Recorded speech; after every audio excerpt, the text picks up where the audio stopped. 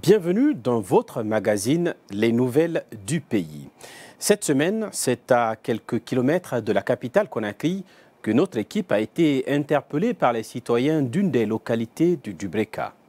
À Tercé, les populations de Borondo, Yeguia, Ronikuru ont exprimé leur ras-le-bol suite à l'absence des infrastructures sociales de base, malgré leur proximité de la capitale.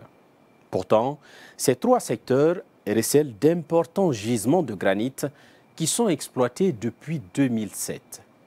Selon nos informations, rien que pour la période de 2016 à 2018, la localité a bénéficié d'une redevance de plus de 4 milliards de nos francs. Mais seulement 2 milliards de francs guinéens ont été déclarés officiellement dans les registres du quartier.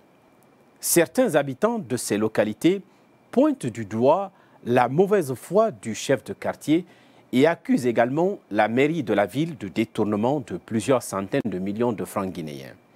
Comment expliquer que malgré la richesse du sol de Tercé, les communautés manquent de tout? Pas de centre de santé, pas d'école publique, pas d'eau ni électricité. Le granit ou la malédiction de Tercé, c'est un reportage de Joma Media en collaboration avec les productions Siba Faso.